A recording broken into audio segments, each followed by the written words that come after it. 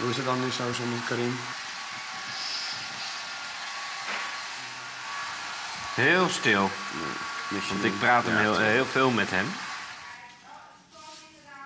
Daarom mag wel, toch? Ja. Ja,